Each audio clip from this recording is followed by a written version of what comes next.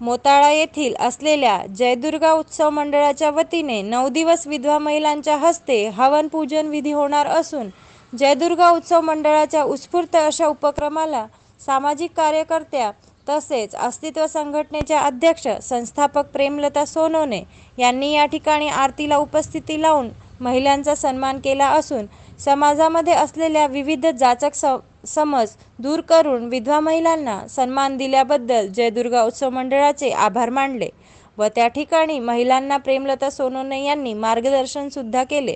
यावेळी मोठ्या प्रमाणात महिला या ठिकाणी उपस्थित होत्या. चोवीस वर्षापासून महिलांसाठी काम करतो आहे.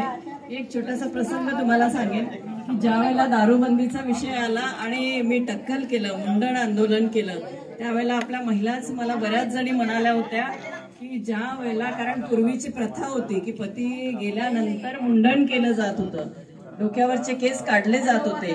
आणि त्यावेळेला मला बऱ्याच महिलांनी हा हे बोललं गेलं मला की इतकं अभद्र काम कसं केलं? तर तो प्रसंग मला खरंच फार जिवारी लागला होता आणि त्यावेळेसच मला सारखं वाटत होतं की ही प्रथा किती वाईट होती ती गेली आहे ती प्रथा.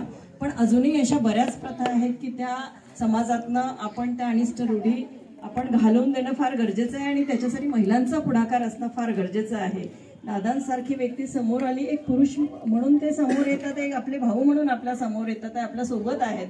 आणि आम्ही पण तुमच्यासोबत नेहमी करता असो अशा कुठल्याही प्रथा घालवण्यासाठी निश्चितच आपण सगळ्यांनी पुढाकार घेतला पाहिजे. आणि आपण जी शपथ घेतली आहे फक्त शपथेपुरतं राहू नये तर आपण हे खरोखरच आपण त्याचं त्या अनुषंगाने काम पण केलं पाहिजे. आणि जिथे जिथे असं कुठे आपल्याला दिसेल म्हणजे माझ्यापुरतं मर्यादित नाही असं म्हणून तर समाजात जिथे कुठे आपल्याला दिसेल की नाही खरंच एखाद्या विधवेचा अपमान होतो आहे किंवा एखा तिचे पती गेल्यानंतर खरं तर ती फार दुःखी झालेली असते. आणि अशा ह्याच्यात आपण काय करतो तर तिच्या कपाळाचं कुंकू पुसतो.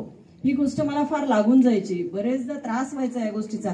पण तुम्हाला माहिती आहे की कोणीतरी पुढाकार घ्यायला लागतो या गोष्टींसाठी. आणि आमचे जेठ आता ते नाही आहेत खरं तर मी त्यांचं नाव इथे घेऊ इच्छिते. रामराव दादा मूर्तीचे.